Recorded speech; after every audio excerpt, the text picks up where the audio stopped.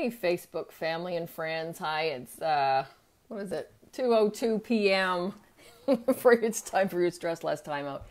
I could actually use one. Um, I am on my phone. Um, for some reason, my computer's streaming really slow, and I didn't want to give you one of those videos that I gave you yesterday. So, and I apologize the view of my fan. Um, yeah, you know, it's all good. It's all good. okay, two o'clock in the afternoon. Where's the time gone? So, um, a couple deep breaths as I roll my shoulders. I apologize. I hope I'm not making any of you seasick. Let's see if I can do that. trying to figure out. So, do my apologies. This is so no. Okay. Okay, technical difficulties. All right. So, Welcome to the 2 p.m. time out to stress less. For those of you that don't know me, my name is Rita Garnto. I'm an author of Simple Self Care Saved Me, and I'm a stress awareness and management educator. And what I do is I help you manage your stress while being productive and successful. And I do that through a variety of ways. Um, my three basic principles are I talk about stress awareness, stress education, and give you the support in the vehicle of simple self care. So, and it has to be easy, right? Because otherwise, I don't know, we humans make things so complicated. So that's why I coined the term simple self care. And it's the kind of self care that you can slide into your day. And then, like if we were to take just a few deep breaths right now, which I could use it because I've been really busy. I've been getting into a routine, and I hope you have too. Those of you that have, have watched some of the other Facebook Lives, we talked about how important it really is to create a schedule for yourself. Um, because routine is good, and a re- routine, I'm just trying to adjust this a little bit.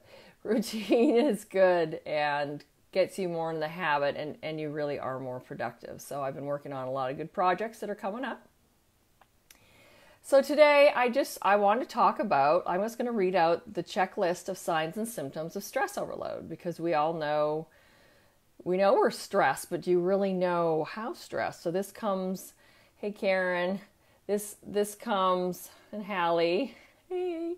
So this comes under the awareness part because you really you know you don't know what you don't know. So if you don't if if you increase your awareness of your stress level and what your stressors are and what your red flags are, then you have a much better chance of of um, kind of nipping it in the bud and, and and stopping for a moment saying, "Wow, okay, my stress level is getting a little high. I'm I'm got my crabby pants on way too much. So it's time for me to go for a walk or pause and deep breathe or do some journaling." So I just wanted to read out. There's 24 of them, and if you have a paper and pen handy. Um, what you can do is give yourself a check mark for every one of these. If if not, um, just kind of keep in mind. So, signs and symptoms of stress overload. So keep in mind this this already means you're in phase two of the three phases of stress, and your body is really not compensating anymore. So really, things are starting to show up mentally and physically that um, you're getting. It's signs that you're getting a little stressed. So memory problems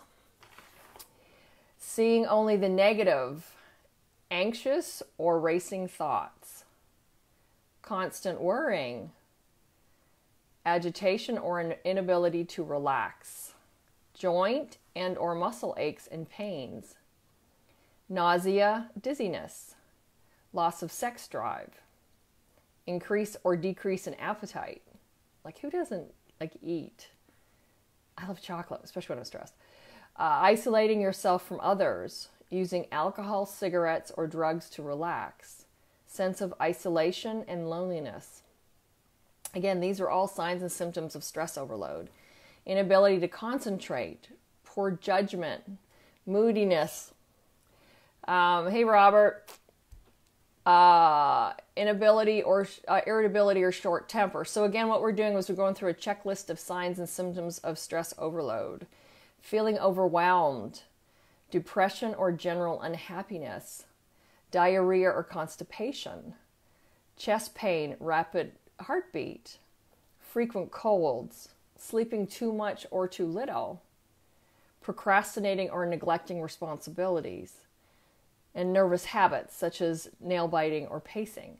So these are all signs and symptoms of stress overload. And really, when you come down to it, the reason we have a stress response, the reason we're supposed to have a stress response is if we are being chased, um, I was watching this video on Serengeti with uh, Dr. Robert Sapol- Sapolsky, and so he he says really the stress response really in mammals should be three minutes of screaming terror while you're trying to run away from uh, the lion, so you don't get eaten. And so what's happened is we humans we um, we create this own our own stress. We imagine and perceive that there's stress and then we end up in this non stress state instead of like zebras that will run like heck to get out of the way of the lion. And then when it's all done and over, they the stress response is turned off. That they have an off switch. Well, we humans have somehow neglected our off switches. We can't find them. So what happens is we start getting all these signs and symptoms because our stress really is on a high level for a long period of time. It's not just the short hits of stress, it's the long periods of time. So I hope that was helpful today. Again, thank you so much for joining me and uh, for live and on the replay. And if, if you get a chance, yes, some thumbs up would be awesome. And um, if you know of anyone who is struggling with stress, loneliness, it's just a tough time right now. Please share this video with them.